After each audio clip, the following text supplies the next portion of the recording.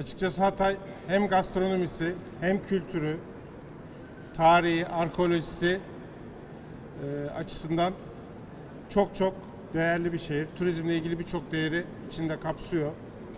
Üstelik bunlara bir de denize ekliyor. Biz açıkçası e, ciddi bir şekilde doğru bir planlamayla e, Hatay'ı hem tanıtım hem turizm açısından geliştirmek için ne gerekiyorsa yapmaya kararlıyız.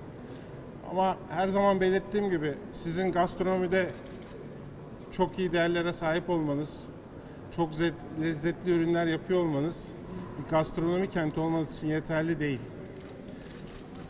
Tescilli binalara sahip olmanız, turizm kenti olmanız için yeterli değil.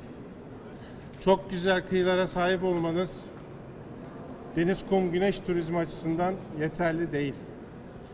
Ee, bizim Çevre Bakanlığımızla, İl Özel İdaremizle, Turizm Bakanlığımızla çok detaylı bir çalışma kapsamında bu değerleri birleştirici bir planla turizme kazandırmamız gerekiyor. Bugün burada müzenin ikinci bölümünde hizmete açıyoruz. Özellikle mozaik ağırlıklı olan kısmını.